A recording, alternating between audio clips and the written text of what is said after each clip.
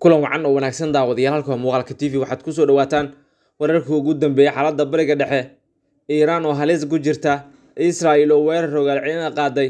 reer galbeedka oo markan taageeraya iyo wararkii ugu dambeeyey dhowr gantaal ayaa ku dhacaya gudaha iiraan saakay waa lagu kala tegay iiraan waana la cabsanaya weli israel waxay weerartay iiraan ila wareedyo ayaanu eegi doonaa diyaaradahan duuliyaha lahayn oo ay cidna wadin ayaa ku dhacaya dhul badan oo iiraan ka tirsan haddaba israel tallaabada ay qaaday iyo in reer galbeedku ay mar kale gadaal ka taagan yihiin ayaanu barnaamijkeena ku faaqidi doonaa soo dhowaada israel waxa ay weerar ku qaaday iiraan sida ay sheegayaan saddex qof oo arintan xogogaal u ahaa iyo warbaahinta israel iyo tan iiraanba uu baahisay sida ay warbaahinta dowladda iiraan ku warantay. Subaxnimadii hore ee saaka oo jimco ahayd ciidamadu waxay burburiyeen diyaaradahan duuliyaha lahayn ee droniska maalmo kadib markii iiraan ay weerar argoosia ku qaaday israel mid ka mid a ila wareedyo ayaa u sheegay wakaalada wararka reuters in mareykanku aanu ku lug lahayn balse ay israel ku wargelisay weerarka ka hor. Wakaalada wararka ee iiraan ee fars loo yaqaano ayaa sheegtay in saddex qarax laga maqlay meel u dhow saldhig ciidan oo ku yaalla bartamaha magaalada isfahan. Sarkaal ka tirsan iiraan ayaa wakaalada wararka reuters u sheegay in aysan jirin wax gantaal oo lagu soo weeraray qaraxyada ay ka dhasheen waa dardargelinta nidaamka difaaca hawada ee iiraan tv-ga qaranka iiraan ayaa sheegay in waa waxyar kadib saqdii dhexe xalay saddex diyaaradood oo aan duulyo lahayn. Ayaa cirka lagu arkay iyagoo dul heehaabaya isfahan. Nidaamka difaaca cirku waxauu noqday mid firfircoon oo hawada ayuu ku burburiyey diyaaradahan idaacadda ayaa markii dambe sheegtay in xaaladda isfahan ay tahay mid caadi ah oo aysan ka dhicin qaraxyo dhulka. Militariga israel ayaan wax hadal ah ka soo saarin ilaa iminka weerarkii dhacaxay ee looga shakisan yahay in weerar israel uu yahay. Israel waxay sheegtay inay ka argoosan doonto oo ay qaadi doonto weerar ka dhana iiraan isbuucan dhammaadkiisa kaas oo ku lug lahaa boqolaal diyaarada aan duuliyo lahayn iyo gantaalo oo jawaab u ahayd weerarkii looga shakisnaa israel ama israel ay ku qaaday dhismaha safaaradda ay ku leedahay suuriya inta badan diyaaradahan duuliyaha lahayn ee iiraan iyo gantaalada ayaa laga soo rido ka hor inta aysan gaarin dhulka israel falaaqayaasha iyo goobjoogayaasha waxa ay walaac ka muujinayaan khatarta dagaalka israel iyo khaza ee uu ku fidi karo inta badan gobolka iyo guud ahaan bariga dhexe. Madaxweynaha iiraan ibrahim raisi ayaa u digay israel ka hor inta aysan dhicin duqeymiha ama duqeymihii saakay. In tahraan ay bixin doonto jawaab adag weerar kastoo lagu soo qaado dhulkeeda ama dalkeeda.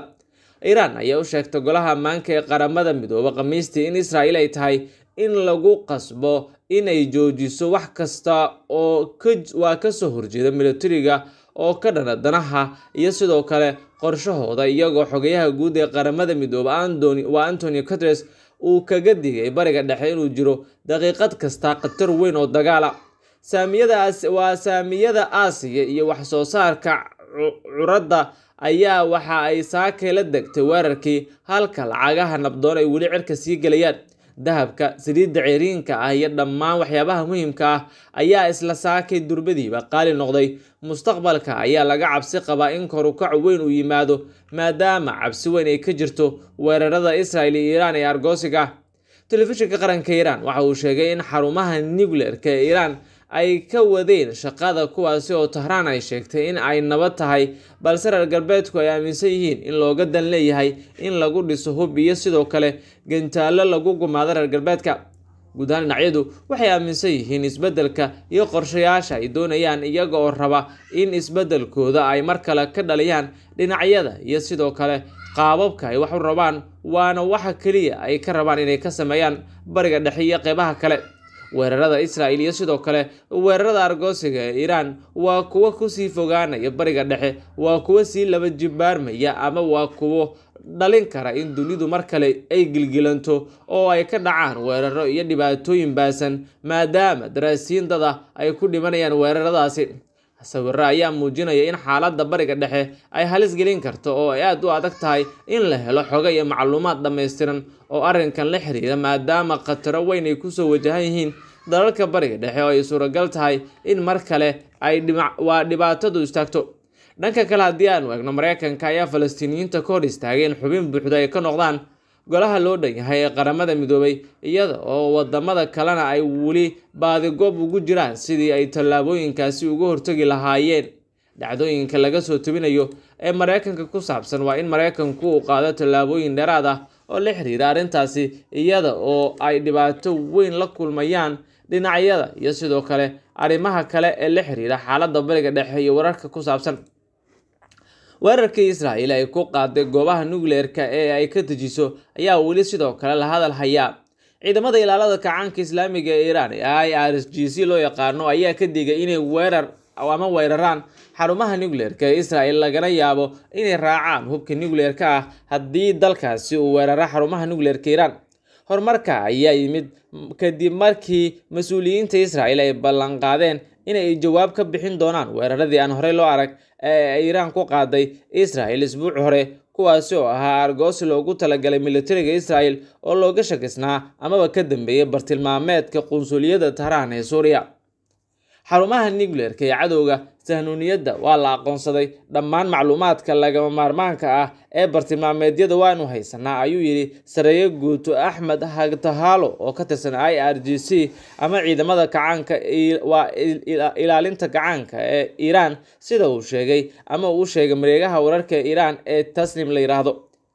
faraheenu waxay ku jiraan kicinta gantaalada xooggan si ay u burburiyaan bartilmaameedyo la qoondeeyey iyaga oo ka jawaabaya weerarada suurtagalka ah ee lagu qaadi karo xarumaha muhiimka ee israel ayuu yidhi taliyaha qeybta i r g c ee u xilsaaran ilaalinta xarumaha nukleerka iiraan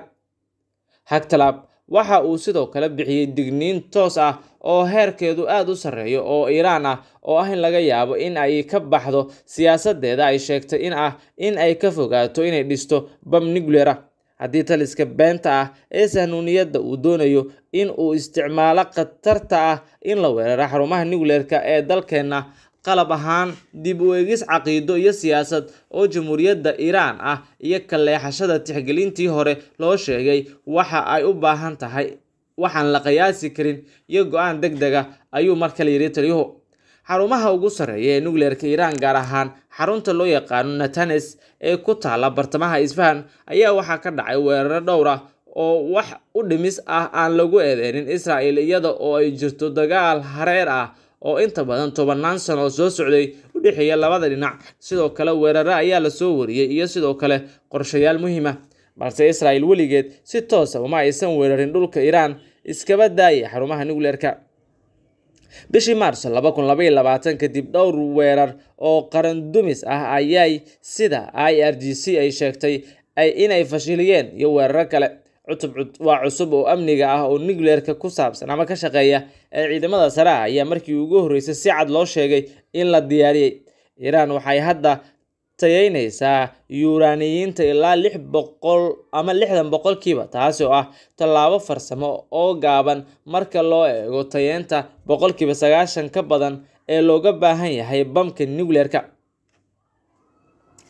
wararku waxa ay sidoo kale sheegayaan in iiraan ay dooneyso inay mar kale isdifaacdo. Waddanku wax kale oo uu haystaa walxa fasil ah oo ku filan dhowr bambaanood ama bambadood taasi oo ka dhigaysa dal laga soo galo nukleerka laakiin weli ma aysan bilaabin tallaabooyin dheeri ah oo loo baahan yahay si dhab ahaan loo dhiso bam sida laga soo xigta hay'adda tamarta atomikada caalamiga ee i a e a loo yaqaano iyo qiimeynta sirdoonka mareykanka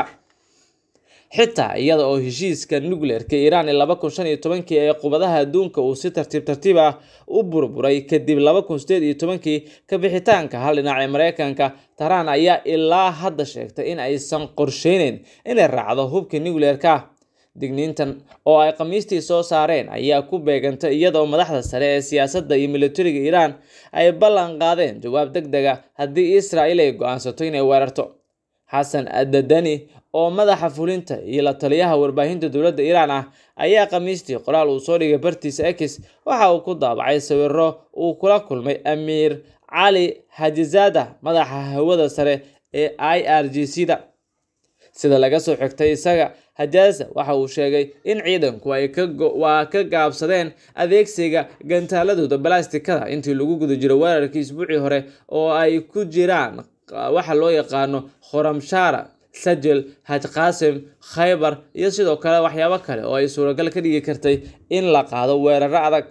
I r g c waxay adeegsatay awoodda ugu yar waxa ay diyaar u tahay weerar kale oo muhiim ah ayaa laga soo xigtay isagoo leh iyada oo laga yaabo inay ka jawaabto sheegashada saraakiisha militariga mareykanka ah in iiraan ay bilaabays ama baabi'isay qeyb aada u badan oo ka mid ah hubkeeda gantaalada ridada dheer iiraan weli waa ay diyaarsan tahay waxaanay u diyaarsan tahay weeraro iyo rogaal celin toos inay qaado taas oo niyadjab weyn waa ku ridaysa israel. Guddaan saxabiil halkaas aynu ku soo gabagabeynaya barnaamij hureedkeenna tan iyo qaybta kale intaynu ku kulmi doono nabadgelyo